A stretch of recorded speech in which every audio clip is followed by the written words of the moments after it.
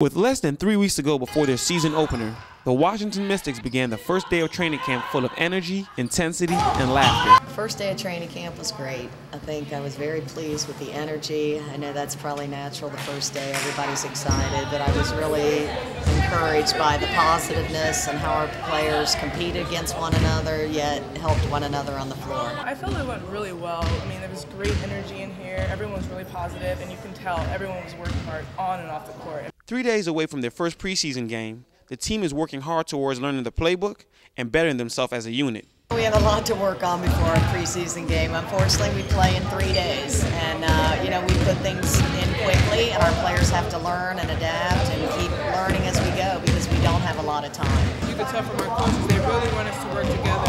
That's the type of team I like to play on, where it's, it's not just about one or two people; it's about the team really working together. For the players, Adjusting to the new coaching staff and their style of play has been an easy transition. These coaches aren't hard to adjust to at all, you know, because they demand so much. They hold everyone accountable.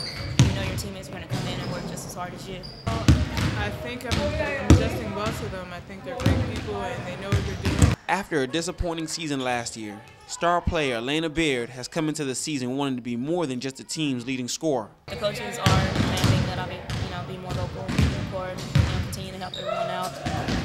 And I guess that's a bet as you grow and learn to do that. Um, for the last four seasons, I guess I haven't been as vocal, but um, I am. After practice, rookie Marissa Coleman says she did pretty well for her first day, but noted that practices are way harder than those she was used to at Maryland. There's not as many water breaks and, and downtime as there is in college, so it's definitely uh, from one drill to the next. Reporting from the Verizon Center, I'm Shyam Simpson with Mystic News.